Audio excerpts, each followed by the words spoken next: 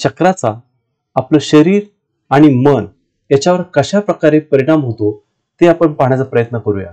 शरीर आणि मन हे आपल्या शरीरामधलं अत्यंत महत्वाची एक विशिष्ट बाब आहे.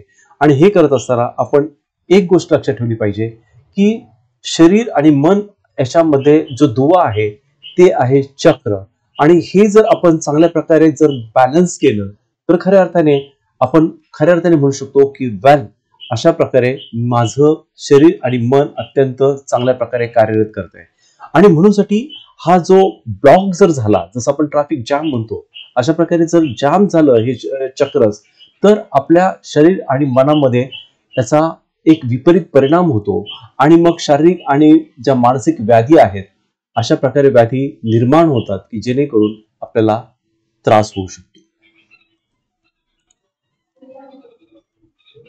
我怎么